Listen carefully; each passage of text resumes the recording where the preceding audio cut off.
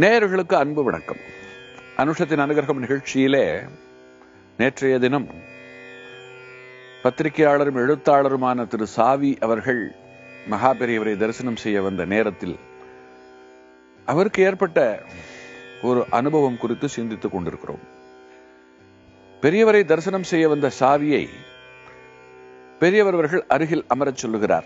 அப்படி அமரச் சொன்ன சில நிமிடங்களிலே சோகமாக ஒரு தம்பதிகள் தங்கள் மகளோடு வருகிறார்கள். அந்த மகளோடு அந்த தம்பதிகளையும் இன்னொரு பக்கம் அமரச் சொல்லுகிறார். மூன்றாவதாக ஒரு தம்பதியினர் தங்கள் மகனோடு வருகிறார்கள். அப்படி மகனோடு வந்த அந்த மகனை அழைத்து பெரியவர் அவர்கள் பேச ஆரம்பிக்கிறார். அவர் என்ன பேசினார்? உண்மையில் அங்கு என்ன சிக்கல்? இதையெல்லாம் நாம் இப்பொழுது பார்க்கப் போகிறோம். இந்த இரண்டு குடும்பத்தாரும் ஒருவருக்கொருவர் சம்பந்தி. முறைப்படி பெண் பார்த்து இவர்களுக்கு இடையே திருமணம் நடந்து இவர்கள் நன்றாக வாழ்க்கையை தொடங்கி இருக்கிறார்கள். ஆனால் என்ன காரணத்தினாலோ அந்த பிள்ளைக்கு இந்த பெண்ணின் மேல் ஒரு சந்தேகம் வந்துவிட்டது. தன்னுடைய மனைவி தன்னை திருமணம் செய்து கொள்வதற்கு முன்பே மற்றவனை மனதிற்குள்ளே நினைத்திருக்கிறாள் என்பது போல் ஒரு கருத்து தோன்றிவிட்டது. அதற்கு ஏற்ப சில சம்பவங்களும் நடந்துவிட்டன. ஆனால் அது உண்மை அல்ல. இந்த பெண் தங்கமான பெண் மனத்தாலும் இன்னொருவனை நினையாதவள். அப்படிப்பட்ட ஒரு பெண்ணை பார்த்து எனக்கு உன்னை பிடிக்கல. உன் மனசுக்குள்ள வேற யாரோ இருக்கா? ஆகையினால எனக்கு வந்து உன்னை விவாகரத்து செய்வதை தவிர வேறு வழி இல்லை என்று சொல்லி அந்த பெண்ணை திருப்பி அனுப்பிவிட்டான். அவர்கள் எவ்வளவு சொன்னாலும் கேட்பதற்கு அந்த பிள்ளையோ அந்த பிள்ளையின் குடும்பத்தாரோ தயாராக இல்லை. இதுதான் சிக்கல். அப்படிப்பட்ட சிக்கலுக்கு உரியவர்கள் தான் திக்கற்றவர்களுக்கு தெய்வமே துணை என்பது போல அவர்கள் பெரியவரை நாடி வந்திருக்கிறார்கள். இதுல ஒரு ஆச்சரியம் என்னன்னா சாவி அவர்கள் யதார்த்தமாக வந்திருக்கிறார். அவர் ஒரு புறம் அமர்ந்து நடப்பதையெல்லாம் பார்க்கின்ற ஒரு சாட்சி போல இருக்கிறார். இந்த பெண்ணோடு வந்த தம்பதிகளுக்கு தங்களை தொடர்ந்து பிள்ளை வீட்டுக்காரர் அங்கே வரப்போவது தெரியாது. அவர்கள் தங்கள் குறையை சொல்லி அழுவதற்காக வந்திருக்கிறார்கள். ஒரு ஆச்சரியம் போல பிள்ளை வீட்டைச் சேர்ந்தவர்களும் அன்றைக்கு அங்கே வந்ததுதான் அந்த இந்த விஷயத்திலே ஒரு சுவாரஸ்யமான திருப்பம். பெரியவருடைய தீர்க்க தரிசனத்திற்கு அது தெரிந்திருக்கிறது. அதனாலதான் அவர் என்ன பண்ணார்னா அப்படி உட்காருன்னு சொன்னார்.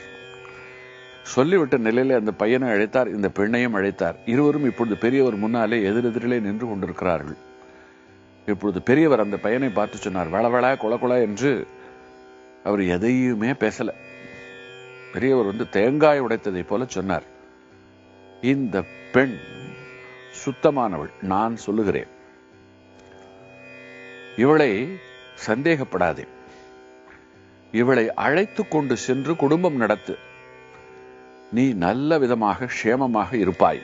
அவ்வளவுதான் பெரியவர் சொன்னது.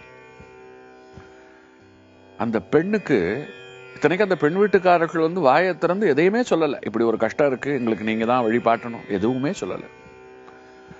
பிள்ளை வீட்டுக்காரர்களும் தங்கள் தரப்பு நியாயம் என்று எதையும் சொல்லவில்லை. தேங்காய் உடைத்தது போல. இந்த விஷயம் மட்டும் நீதிமன்றத்திற்கு போயிருந்தால் இது தீர்வதற்கு எத்தனை மாதம் எத்தனை வருடம் ஆகியிருக்கும் என்றெல்லாம் சொல்லவே முடியாது.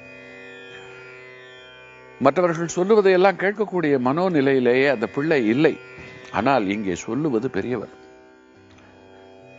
கடவுளே வந்து சொல்லுவது போல் இதற்கு மிஞ்சி யார்? அடுத்து அந்த பிள்ளை எதுவுமே பேசல. அந்த பெண்ணை பார்த்து உன்னை சந்தேகப்பட்டதற்காக என்னை மன்னித்து விடு. எல்லாவற்றையும் மறந்து விடு. வா நாம் போய் வாழலாம் என்று அந்த பெண்ணை அப்பொழுதே பெரியவர் முன்னிலையிலேயே கையை பிடித்து இழுத்துக்கொண்டு பெரியவரையும் வணங்கி விட்டு பிரசாதத்தை வாங்கி கொண்டு புறப்பட்டு போனார்கள். மிகுந்த பாரத்தோடு வந்த பெண்ணை பெற்றவர்களுக்கு முழு பாரமும் இறங்கின நிலையில மனசுக்குள்ள வந்து அப்படி ஒரு மகிழ்ச்சி. இதை பார்த்து கொண்டிருந்த திரு சாவி அவர்கள் அதற்கு பிறகு பெரியவரிடம் வரவும் பெரியவர் சிரித்து கொண்டே சொன்னார் நீ ஒரு பத்திரிகையாளன். ஒவ்வொரு பிரச்சனைகளையும் பார்த்து இது எப்படி அது எப்படி என்று கேள்விகள் எழுப்பி சிந்தித்து செயல்படுபவன். இப்படி ஒரு விஷயம் நடக்க இருக்கிறது. நீ பார்க்கணும்னு தான் நான் உன்னை உட்கார சொன்னேன். இவா கோர்ட்டுக்கு போனா சேர்றதுக்கு எவ்வளவு காலம் ஆகுமோ நல்ல வேளை அந்த பிள்ளை என்னுடைய பேச்சை கேட்டான் என்று சாதாரணமாக நான் ஒரு நல்லது சொன்னேன் அந்த பிள்ளை கேட்டான் என்று சொன்ன உடனே சாவி அவர்கள் சொன்னார்.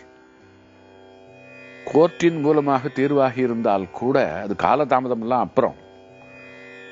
தீர்வாகி இருந்தால் கூட இவ்வளவு சந்தோஷம் எல்லாம் இருக்காது. உங்களுடைய ஞான திருஷ்டி உங்களுடைய நல்ல எண்ணம் உங்கள் மேல் அவர்கள் வைத்திருக்கின்ற பக்தி எல்லாவற்றையும் சேர்த்து எல்லாவற்றுக்கும் சேர்த்து இன்றைக்கு நீங்கள் ஒரு பெரிய தீர்வை தந்து விட்டீர்கள். இத்தனைக்கும் நீங்கள் ஒரு சன்னியாசி ஆனாலும் குடும்ப விஷயத்தில் குறிப்பாக இல்லறம் என்கின்ற விஷயத்தில் இதை போன்ற பிரிவுகள் இருக்கக்கூடாது என்கின்ற எண்ணத்தோடு இல்லற தர்மம் நல்ல விதமாக விளங்க வேண்டும் என்கின்ற அடிப்படையில் இன்றைக்கு நீங்கள் செய்திருக்கக்கூடிய ஒரு காரியம் எனக்கு மிகப்பெரிய சிலிர்ப்பை தருகிறது.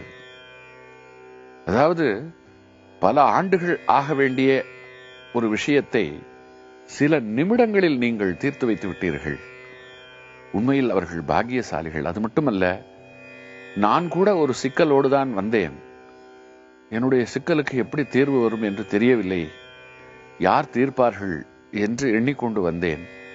உங்களிடம் அதை சொன்னால்தான் உங்களுக்கு தெரியும் என்றில்லை. ஏன்னா அவங்க ரெண்டு பேரும் தங்களுடைய குறைகளை சொல்லவே இல்லை.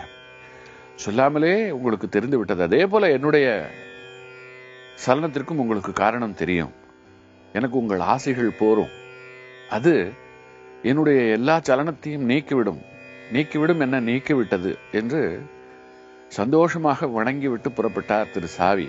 அப்படி புறப்பட்டு சென்ற பிறகு தன்னை சந்தித்த பத்திரிகையாளர்களிடம் பெரியவரை பற்றி குறிப்பிடும் பொழுது இந்த அனுபவத்தை சொல்கிறார். அதனால்தான் இந்த விஷயம் வெளி உலகத்துக்கு தெரிய வந்து இந்த இடத்துல நானும் பேசிக் கொண்டிருக்கிறேன்.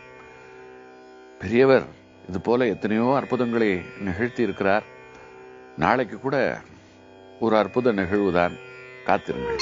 காஞ்சி நகர் உரையும் காமகோட்டி குருவே காமகோட்டி குருவே காமகோட்டி